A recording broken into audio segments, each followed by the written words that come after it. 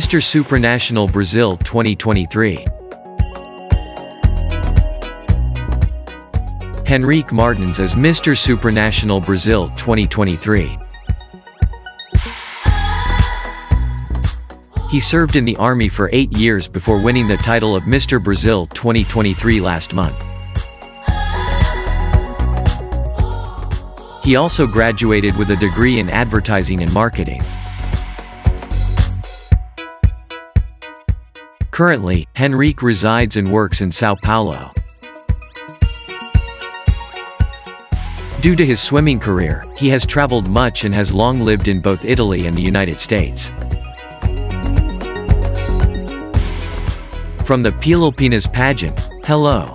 Before we continue, we have a brief request. Please think about supporting us by subscribing to our channel if you like what you see. It will be much appreciated by us.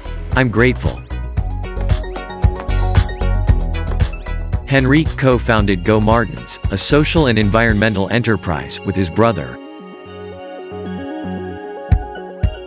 Its main objective is to support underprivileged rural families in creating sustainable ecotourism businesses that would boost their income and have a minimal negative impact on the environment. This month in Nowy Sącz, Poland, Henrique will attempt to become the first Mr. Supranational from Brazil.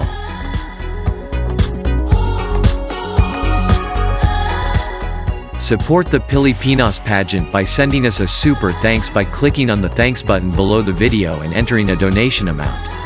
We appreciate each and every one of you, so please stay safe and thank you for watching our video.